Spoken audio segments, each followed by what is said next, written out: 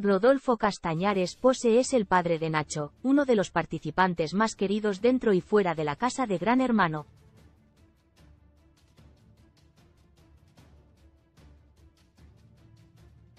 Hace una semana ingresaron familiares de los jugadores a la casa más famosa del mundo y uno de ellos fue el padre de Nachito.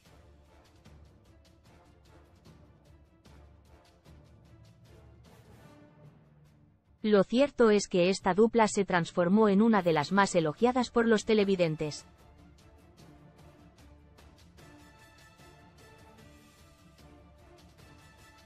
En efecto, el hombre se ganó el corazón de los televidentes con su acento español, su simpatía y el entrañable vínculo que mantiene con su hijo.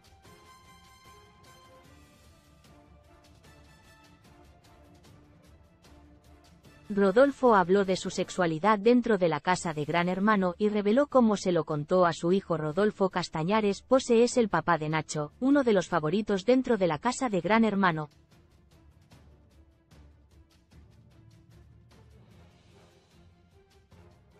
Lo cierto es que este hombre se suele presentar como Rodolfo Pose y es personal coach.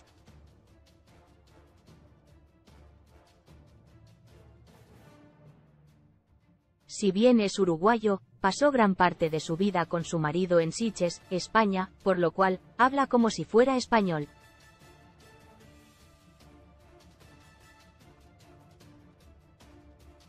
El pasado domingo por la tarde, mientras los participantes de Gran Hermano tomaban mates en la cocina, Rodolfo comenzó a hablar de cómo era su familia y de cómo fue el proceso de contarle a su hijo sobre su sexualidad.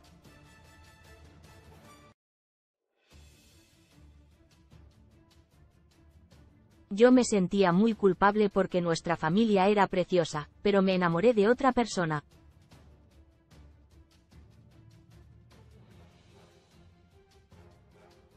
Fácil estuve como 15 días diciendo, ¿cómo se lo digo? Y un día me senté con ella y le dije tengo que contarte algo.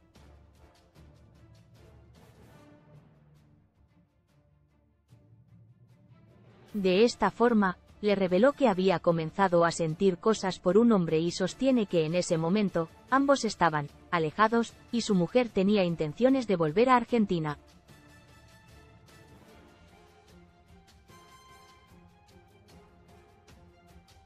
Se quedó como soqueada. Yo sentí mucha culpa en eso.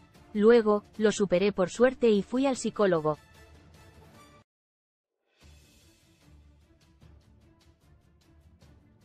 También recordó los momentos en que su hijo dio a conocer su sexualidad. En el fútbol, de repente lo iba a buscar yo y al día siguiente iba Jesús, su novio, expresó y añadió que ante las preguntas de quién eran ambos, Nacho contestó que eran sus papás y los compañeros reaccionaron de la mejor manera.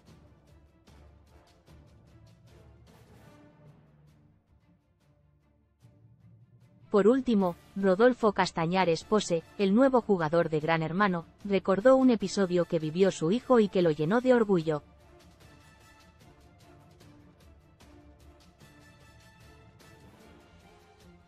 Resulta ser que un buen día, Nachito le dijo, tengo que contarte algo, le conté a Franco, el mejor amigo.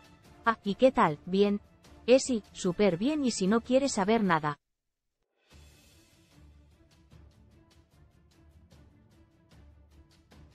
como diciendo que si no estaba bien, pues ya está,